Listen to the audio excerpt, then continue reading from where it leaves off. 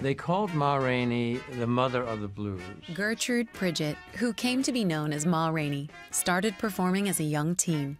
She was born in Columbus, Georgia in 1886 and started her career after winning a talent show.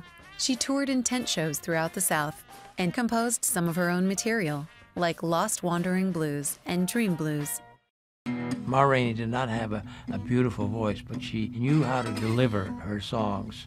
She had gold teeth and she wore a, a necklace of gold dollar pieces. By 1923, Rainey's growing popularity earned her a contract with Paramount Records.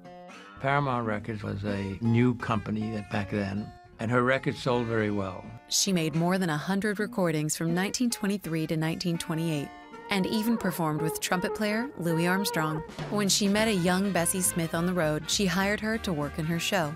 It's rumored that Ma taught Bessie about life both on and off the stage. They were the original wild women in American music. They were bad women, and they were singing in these clubs, and they were, they were birthing rock and roll. I always thought I was so revolutionary coming out, and then you hear Ma Rainey saying, I went out last night with some of my friends. Must have been women's, because I don't like no man's. Come on, this was not popular stuff to be singing back then, or stuff that they even talked about. The popularity of the blues faded in the 1930s, and Ma returned home to Georgia, where she ran two theaters